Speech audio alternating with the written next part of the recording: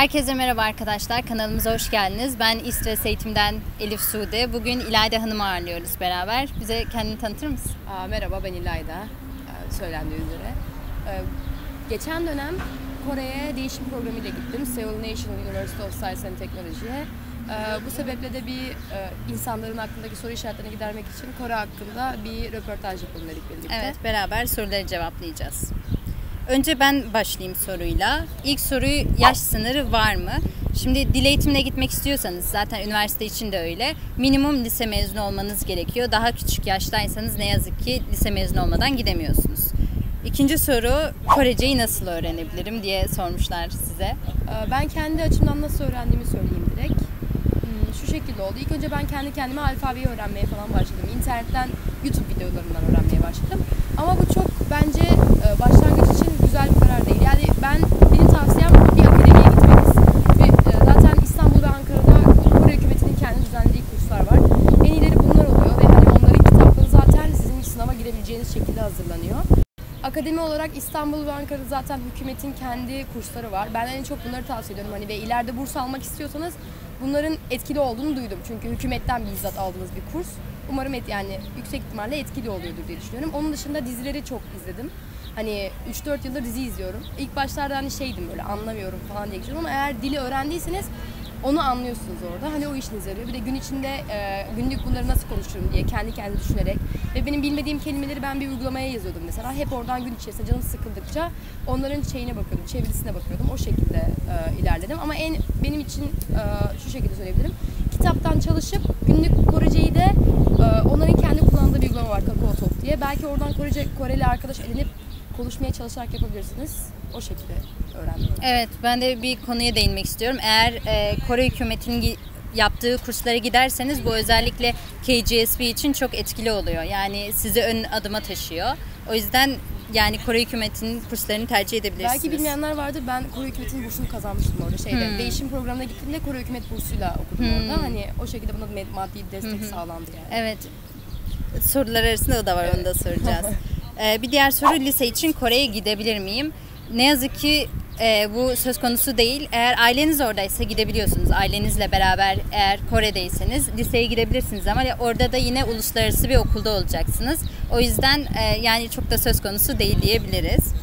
Bir diğer soru Koreceyi geliştirmek için uygulama önerin var mı? Ee, sen ne yaptın geliştirmek için? Uygulama olarak e, Duolingo falan diyorlar ama ben hani bilmiyorum onu çok yararlı bulmadım kendi açımdan. Belki yararlı bulamadım Onun dışında Memrise. Memrise bayağı iyi. Hani kendi kursunuzu oluşturabiliyorsunuz. Benim yaptığım şey buydu. Hani kitaptaki bilinmeyen kelimeleri alıyordum böyle kenara yazıyordum ben. Sonra diyordum hani yolda, metroda falan kullan Evet, bence de çok diye etkili metroda oluyor. falan o şekilde kendim internetten giriyordum, cevaplarını giriyordum. O zaten otomatikman şıkları falan belirliyor. Hani oradan Memrise çok iyiydi benim için. Onun dışında bir de Drops diye bir uygulama var. Drops da böyle Evet. günlük kelimeleri e, size işte her gün oyun şeklinde yaptırıyor. O da bayağı etkili. Evet güzel uygulama gerçekten. Onun şu anda çok revaçta olan Quizlet var. O şey işte mesela o da sınav hazırlıyor. Senin belirlediğin kelimeler, terimler, tanımlarla beraber sen mesela e, giriyorsun kelimeyi, anlamını. O da sana sınavı hazırlıyor istediğin gibi. çok Memrise güzel. gibi. Aynen Aynen, Memrise gibi sanırım. Ama Memrise'de sanırım ders de var. Değil evet mi? ders de var. İşte- Ama onlar çok bence yararlı değil. Yani kendi bildiğinizi yapmak daha mantıklı. Bence de evet. Bir diğer sonu sanat alanında eğitim alınabiliyor mu? Şimdi tabii ki de alabilirsiniz. Eğer üniversitenin sınavına girerseniz ve geçerseniz sanat alanında bir eğitim alabilirsiniz. Ayrıca sanat alanına tamamen sanat alanını kapsayan özel bir burs da var. AMA bursu. Eğer AMA burs hakkında detaylı bilgi almak istiyorsanız bizim Instagram hesabımızda e, detayları mevcut. Oradan inceleyebilirsiniz. Diğer soru Koreceyi nasıl öğrendin? Ne kadar sürdü öğrenmek? Ne kadar sürdü? Ben iki yıl oldu tam olarak başlayalı. Ee, Ben Kore'ye arkadaşlarımla tatile gitmiştim. Sonra geri geldim dedim ki ben Korece öğreneceğim dedim. Çünkü bu ülkede hani Korece bilmeden o kadar yaşanmıyor. Yani ben insanlarla konuşurken bunu anladım. İngilizce'de çekiniyorlar. İngilizcelerini bazen anlamıyorsunuz. Mesela markete gidiyorsun adam sana plastik bag ister misin diye soruyor. Hani plastik poşet ister misin diye soruyor ama bunu anlayamıyorsun çünkü telaffuz çok kötü. Kore'deki insanların Kore'de yaşamak için Korecenin gerekli olduğunu anladığımda başladım. Oradan sonra da kendimi iyi zannediyordum. Akademiye gittim, teste girdim. Bana dediler ki birden başla. Hani ikiden başlayabilirsin ama birden başla çünkü yazmak çok önemli. Yani sınavda yazmak çok gerekli oluyor. Yazmadan herkes düşük puan alıyor. Onun dışında ben gerçekten çok çalıştım yani yalan söylemiyorum. Bir geçti mesela ikinci kur kapalıydı diye ben 3'e yetiştim. İki kuru birden bitirdim mesela. Evde her gün 2-3 saat çalışıyordum yalan yok. Yani çalışınca her şey oluyor diyebilirim. İki sene boyunca ciddi anlamda çalıştım. Ee, bir diğer soru dil okuluna gitmek için öğrenci olmak şart mı? Öğrenci olmanıza gerek yok. İşte 30 yaşında da olsanız, öğrenci olmasanız da dil okullarına başvurabiliyorsunuz. Ee, dediğim gibi tek şart lise mezunu olmuş olmanız. Ee, diğer soru dil okuluna gitmek için. Aha. Korece veya İngilizce bilmeden Kore'ye gidilebilir mi? Zaten bir kısmını cevapladın evet. Ee, ya benim değişim öğrenci olarak gittiğim için benim arkadaşlarım hiçbiri Korece bilmiyordu. Yani temel seviyede çok azıcık anlaşabilecek bilen arkadaşlarım vardı. Ama mesela akbil alacağız. Hani e, bineceğiz, otobüse bineceğiz ilk haftamız. Herkes bana iş yaptırıyor. Böyle gidiyoruz. Bizim oturduğumuz yerde de böyle teyzeler falan var. Hani öyle merkezi bir yer değildi. Böyle Hongdae, Beş, hani Türkiye'nin Beşiktaş gibi düşünün. Öyle bir yerde olsak İngilizce gene anlayanlar oluyor böyle marketlerde. Ama orada mesela anlamıyorlardı. O yüzden beni konuşuyorlar. Diyorlardı hadi git bunu konuş. Bir de ben böyle hiç Koreliyle ben gerçek hayatta konuşmamışım. Heyecanlanıyordum falan. Ama benim yani bence Korece bilerek giderseniz çok rahat edersiniz kesinlikle. İngilizce'de yaşa, İngilizce'de de yaşanıyor yani. İngilizce orada 5-6 yıl yaşayıp İngilizce sadece bilerek giden insanlar da duydum yani. Yani hani belki zorlanırsınız ama yani hiç olmaz da değil. Evet. Ee, diğer soru dil okulundan sonra Kore'den direkt üniversiteye nasıl başvuru yapabilirim? Yani eğer gideceğiniz üniversiteyle dil okulundaki üniversiteniz aynıysa direkt o üniversitenin e, sınavına girerek geçiş yapabiliyorsunuz. Eğer farklı bir üniversiteye gideceksiniz dil okulunuzdan farklı o zaman dil belgesini almanız gerekiyor. Eğer minimum 3 ya da 4 topik belgeniz olursa üniversiteye geçiş yapabilirsiniz. Başvurularınızı tarihleri takip ederek başvuru yapabilirsiniz. Diğer soru İngilizcen hangi seviyedeydi Kore'ye giderken? Ee, şu şekilde oldu. Bi- Bizim okuldan, ben okuldan başvurduğum için iki üniversiteye gidebiliyordum. Ya Hanyang Üniversitesi'ne ya da Seoul National Science and Technology Üniversitesi'ne gidebiliyordum. Seoul Tech diye geçiyor. Ee, bir tanesi IELTS istiyordu. Ben IELTS'e girmek istemedim. Hani hem yüksek para istiyorlar Evet. ücret olarak hem de çalışmam gerekiyor buna ayrı olarak. Diğeri de yani Seoul Tech'te direkt bizim hazırlık programına geçmiş olmayı istiyordu. Hani zaten okulda da sıralama yapıyor. Yani 4 kontenjan vardı. Onun kontenjanı daha fazlaydı. İşte %50 dili alıyorlar. %50 okul GP, GPA'yı alıyorlar. O yüzden direkt e, benim seviyem ne olabilir? B2 yüksek ihtimalle. Çünkü bizim okulun bilet sınavı yani İngilizce sınavı B2 diye geçiyor. B2 idi. Yani aynen B2 yani iyi bir seviye. Ama işte şöyle bir şey var hani e, ben B2 olsam da konuşamıyordum ilk gittiğimde. Yani tabii Hani hani bir gerçek insan ama bir ay sonra böyle açılıyorsunuz. Hani ben artık İngilizce böyle akıcı konuşabiliyorum. Benim bana en çok şey katanlardan biri. yani o. Türkiye'de zaten kimseyle konuşmadığımız Evet. için konuşmaya da biz de çok çekiniyoruz aslında. Bir tek Koreliler değil. o Aynen yüzden öyle. e, şey oluyor ama orada mecbur kalınca insan açılıyor bence. Ee, diğer soru Seul içinde dil eğitimi alabileceğimiz ünivers- üniversiteler neler? Yani birçok üniversite var. Zaten Seoul National Üniversitesi var. Ee, orada da Korece dil kursları mevcut. Onun dışında mesela Kyungbuk Üniversitesi var. Çok tercih edilen üniversite. Onun Seoul kampüsüne de gidebilirsiniz. Yani birçok üniversite mevcut. Her üniversitenin de genelde dil kursu oluyor aslında. Yani araştırırsanız ya da bize danışırsanız biz size yardımcı olabiliriz bu konuda. Ee, diğer soru burslu mu gittin? Gitti evetse e, yeterli miydi burslar? Ee, aslında bu bursa herkes başvuramıyormuş. Ben bunu öğrendim. Burslu gittim evet. Ama ben burslu gitmiyordum hani ilk başta. Bizim okulda zaten hiçbir şekilde para vermiyor. Ee, şöyle şu şekilde oluyor. Bu KGSP diye bir bakıyorsunuz. KGSP bursu e, değişim programları için sadece bazı üniversiteler sağlıyor. Yani her üniversite sağlamıyor. Mesela bana üniversiteden mail atmış. Demiş ki işte böyle bir burs var. Siz bize göndereceksiniz belgelerinizi. Biz atacağız. Niyet, niyet mi? Öyle bir şey var hani. O bursların şeyi oluyor. Bilmiyorum. Onlar kontrol ediyormuş bursları. Oraya ben attım. Hani benim işte belgelerim ne vardı? Topik vardı benim. Topik 3'üm vardı. O yüzden bir de bir de Kore dans e, yarışmasında birinciliğim vardı. Hani bir de güzel yazmıştım böyle geçmişim falan. Onlar bayağı etkili. Özellikle background'a falan, e, Evet. study plan'e falan bayağı bakıyorlar yani. Onu duymuştum ben KGS'de. O şekilde oradan burs e, kazandım. Ama ne kadar veriyorlar mesela aylık onları söyleyebilirim herhalde. Aylık 500 bin won veriyorlardı. Ve son ayda işte onu e, güne bölüp çarpıyorlardı kaç gün kaldığınızı çarpıyorlardı. Ve işte uçak biletleri karşılıyorlar. Bunlar bayağı aslında Çok, e, çok iyi. Çünkü Çok şu an pahalı. biletler çok pahalı yani. Hani her şey üç katına çıkmış ben iki sene önce gittiğime kıyaslarsam. Ve neye karşılıyorlar? Başka e, sigortayı karşılıyorlar. Sağlık sigortasını. Bu da iyi yani. Ve ilk gittiğinizde bir fazladan para veriyorlar. 200 bin won fazladan veriyorlar. Ama bu herhalde yüksek lisansa gittiğinizde parasını yarısı oluyorlar. Çünkü yüksek lisansa gidince 1 milyon veriyorlar. Buna Aynen. 500 Daha veriyorlar. yüksek oluyor. Yetmedi. Hani sadece onunla geçinirsiniz ama ne yaparsınız? Hani her gün marketten yersiniz. O da sizin sağlığınıza uymuş. Her gün ramen yemezsiniz yani. Bir de hani başka şeyler almak istiyorsunuz, alışveriş yapmak istiyorsunuz. Yani Hani- neticede Kore. Evet yani babam gönderiyordu ama mesela o burs sayesinde ben kendime mesela telefon aldım böyle düşünüyorum. Hı hı. Ee, Bayağı etkili yine çok e, yardımcı oluyor o para yani. Yani sanırım değişim öğrencisi olarak gittiğin için 500 bin won. Çünkü ben en son araştırdığımda şeydi lisans mesela lisansa başvuruyorsan 900 bin won Evet, veriyorlar diye biliyordum. Aynen. Gittikçe de artıyor bu zaten.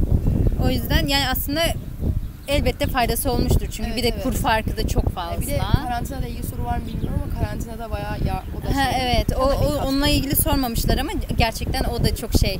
Karantina çok pahalıydı. Hı hı. Yani bizi okul devlet okulu olduğu için galiba emin değilim. Bizi devlet karantinasına kalması kalmaya zorladı. Devlet karantinası da günlük 100 dolar düşüyor. 14 gün boyunca 1400 dolarınız Evet, yaklaşık. çok kötü. Sonra 1200 dolara falan uçtu. Sonra bizim okul bize yardım etti. Bir de benim kaldığım gün sayısı kadar bana günlük 15 bin won verdiler. O da bir etkiliyor yani. Okulda yarısını karşıladı falan. O şekilde yine Aynen öyle ama- yardım eden şeyler varmış. Aslında ama bizim okulun problemi o. Yani diğer aynen. okullar yurtta bırakıyormuş mesela. Yurtta kalabilirsiniz karantinanızda ama bizi direkt devlet karantinasına Evet. almışlar. Mesela Kyongbuk Üniversitesi'nde o direkt kendi yurduna Evet, izin veriyor. Onu Çok duymuştum demiştim hakem yani dil kursuna mı gitseydim falan. Evet, o yani Kyongbuk Üniversitesi o açıdan cidden çok avantajlıydı. Sormuştum ben size zaten demiştim. e, Benim okulum böyle bir şey diyor mu zorunlu mu falan diye. Hmm. Ben size sormuştum. ben çok ilgilenmediğim için onlarla bilemiyorum. cevap vermişler ama. Ee, diğer soru üniversite sınavına girmeden Kore'de üniversiteye gidilebilir mi? Evet yani e, Kore'de üniversiteye başvurmak için üniversite sınavını baz almıyorlar. Ee, baz alınan şey sizin transkriptiniz ve not ortalamanız oluyor. O yüzden üniversite sınavına girmek zorunda değilsiniz. Ee, diğer soru değişim öğrencisi olarak hangi programla gittin? Hani mesela Mevlana var, e, Bizim diğeri bir var. bilateral, bilateral diye geçiyor. Bilateral diye yazılıyor Türkçe'de. Hani bizim okulun kendi bir programıydı galiba. Çünkü zaten Evet, benim olabilir. bölümüm sadece Kore ile anlaşmalıydı. Dijital Hmm. tasarımı okuyorum bu arada. Ama Evet, dijital tasarımı de- okumadım Kore'de yani. Görsel iletişim tasarımı okudum. Eğer derseniz benzerse olan bir şey Mevlana ile ya da diğer diğeri bilmiyorum. e, Öyle bir diğeri program- Erasmus var ama o da zaten Erasmus şeye falan Avrupa göndermiyor. Hı o hı. ikisi de değil direkt okulun kendi yaptığı bir anlaşmaydı yani. Yani okulun web sitesine bakarsanız Evet. onu daha iyi Direkt şey yaparsınız. uluslararası ofise gidip sorsanız en mantıklısı o yani. Ee, bir diğer soru değişim öğrencisi olarak e, Kore'ye gitmeye yardımcı oluyor musunuz? Şimdi değişim öğrencisi olarak gitmek daha çok üniversitenizi ilgilendiren bir mevzu. Bu yüzden yani bizim aslında yapabileceğimiz çok bir şey yok ama yine de yardıma ihtiyacınız olursa bize iletişime geçebilirsiniz. Elimizden gelen yardımı yaparız biz de. Ee, diğer soru e, üniversiteler ne kadar süreliğine gönderiyor? Aa, yok pardon atlamışım bir soruyu pardon. Ee, kaçıncı sınıfta gidiliyor değişim programıyla? Bu tamamen sizin bölümünüzle alakalı bir şey. Mesela ben birinci sınıfta gidilebildiğini düşünmüyorum. Sormadım da bunu yani birinci sınıfta öyle bir planım yoktu. Ama genelde birinci sınıfta gidemiyorsunuz. Bu bölüm, bölümler, bölümlere göre tabii ki değişebilir. Ben üçüncü sınıfta gittim. Ama mesela benim bölüm hocam demişti ki sen dördüncü sınıfta da gidebilirsin. Çünkü ben çok destekliyorum değişim programı çok yar- yararlı bir şey falan demişti. O şekilde dörtte de gitmek istesen seni gönderirim ama okulunuz var demişti. Çünkü benim bitirme projelerim var. Hani okulunuz yüksek ihtimal uzar dördüncü sınıfta giderseniz. Ortak dersiniz yoksa. Hani Kore'de aldığınız eğitimdeki dersiniz uyuşmuyorsa. Onun dışında mesela benim mimarlıktaki arkadaşım gidemiyordu dördüncü sınıfta. Çünkü öyle izin vermiyorlarmış. Yani bu tamamen bölümdeki danışmanınıza gidip sormanız lazım. Genelde de ben şey diyebiliyorum. Mesela ikinci sınıfın ikinci dönemi ve üçüncü sınıfın birinci dönemi. Hani zaten iki dönem sanırım Aynen. gidiliyor. Yani bir dönem ya da iki dönem o da şey Hı hı, aynen. Ee, bir diğer soru. Ee, değişim programı ile Kore'de bir üniversiteye gidebilir miyiz? Evet, e, elbette gidebilirsiniz. Yani tabii üniversitenizin anlaşması varsa, yanlış bilmiyorsam üniversitenin anlaşması yoksa Kore'de bir üniversiteye gidemiyorsunuz ama bunu daha detaylı araştırmak gerek. O konuda çok bir bilgim yok. Ama üniversitenizin anlaşması varsa rahatlıkla gidebilirsiniz Eğer başvurarak. özel üniversiteyse sanırım e, gidip hani international ofiste işte konuşabiliyor musunuz? Uluslararası ofiste diyor musunuz işte ben böyle bir üniversiteye başvuru yapmak istiyorum. Hani onlarla da konuştum. Eğer siz de şey yaparsanız beni hani oraya gitmeme uygun bulursanız gidebiliyorsunuz diye biliyorum ama kesinlikle üniversiteye sormanız lazım. Aynen. Yani en güzeli danışmak. Evet. Ee, bir diğer soru.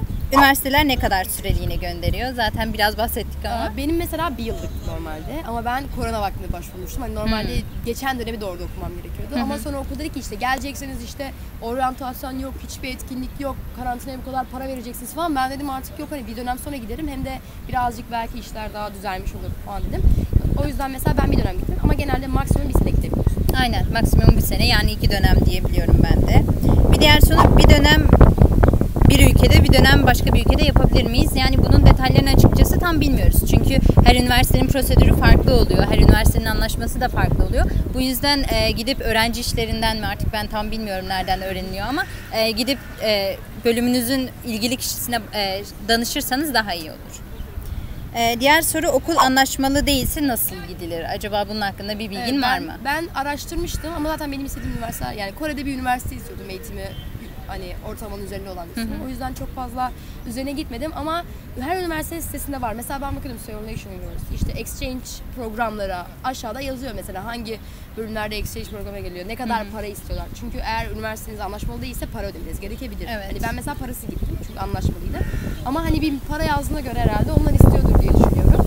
O şekilde hem o üniversiteye mail atarak hani benim üniversitem anlaşmalı değil ama ben sizin üniversitenize değişim programına gelmek istiyorum diye. Hem kendi üniversitenizi sorarak bunun, bu sorunun yanıtını bulabilirsiniz diye düşünüyorum. Ee, diğer soru gitmek için ne gerekiyor? Şimdi bu çok değişken bir soru. Okuldan okula da değişiyor, bölümden bölüme de değişiyor. Ama genel olarak bahsedecek olursak evraklardan e, transkriptiniz gerekiyor, diplomanız gerekiyor, pasaport belgeniz gerekiyor, vatandaşlığınızı kanıtlayan belge gerekiyor. Çünkü herhangi Kore vatandaşı varsa yani anneniz ya da babanız o zaman e, kabul edilmiyor böyle şeylerde. E, bakiye belgeniz olması gerekiyor. Dil eğitimi için e, 10 bin dolar, e, lisans ya da üstü şeyler için de 20 bin dolar gibi. Onun dışında adli sicil kaydınızın olması gerekiyor ve e, işte mesela study plan ya da onun gibi belgeleri hazırlamanız gerekiyor. Yani genel ana hatlar bunlar ama işte e, üniversitenin web sitesinden bakarak e, gerekli evrakları oradan tamamlamanız gerekiyor. Yani o yüzden mutlaka kontrol etmelisiniz. Şimdi iki tane iki part video olacağı için bizim sorularımız bu kadar. Diğer parti izlemek istiyorsanız, diğer soruları görmek istiyorsanız İlayda Hanım'ın e, kanalını takip edebilirsiniz. Açıklamalar kısmına kanalının e, linkini bırakacağız. E, o zaman görüşmek üzere. Kendinize iyi bakın. Teşekkürler. Teşekkür ederiz.